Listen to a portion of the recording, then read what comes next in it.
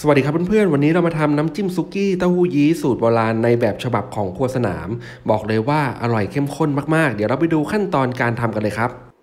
ขั้นตอนแรกนะครับ เรามาปั่นเครื่องสำหรับทำน้ำจิ้มซุกี้กันเลยครับ กระเทียมจีนกรีบ 50 กรัม รากผักชี 3 ราก เนื้อกระเทียมดอง 200 กรัม ให้เราใส่เฉพาะเนื้อกระเทียมดองลงมาก่อนนะครับ น้ำใส่ทีหลังนะครับ เกลือป่น 1 ช้อนชา ซอสพริก 50 กรัม น้ำส้มสายชู 150มิลลิลิตร น้ำกระเทียมดอง 200มิลลิลิตร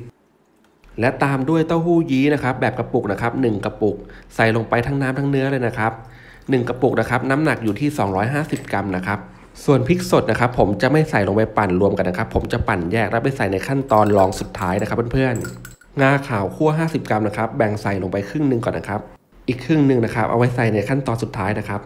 แล้วก็ให้เราปั่นทุกอย่างให้ละเอียดเข้ากันเลยนะครับ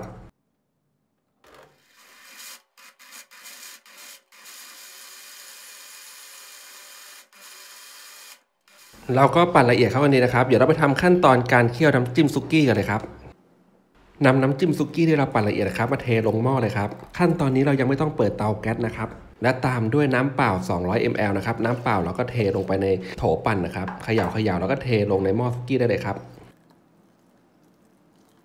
และตามด้วยน้ำตาลทรายไม่ฟอกสีนะครับ180 กรัม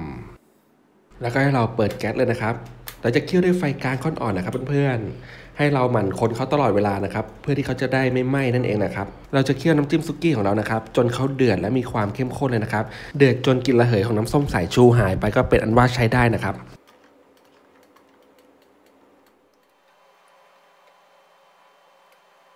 เราก็เคี่ยวน้ำจิ้มซุกี้ของเรามาประมาณพักหนึ่งนะครับ ตอนนี้น้ำจิ้มของเราก็เดือดขอบหม้อนะครับ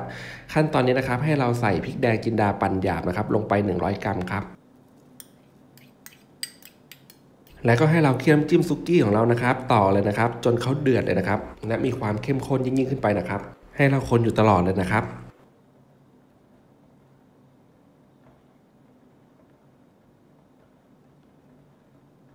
น้ำจิ้มซุกี้ของเราก็เดือดแล้วนะครับ ขั้นตอนนี้ปิดแก๊สเลยครับ แล้วก็ตามด้วยงาขาวคั่วส่วนที่เหลือนะครับ ใส่ลงไปเลยครับ แล้วก็คนให้เข้ากันเล็กน้อยนะครับ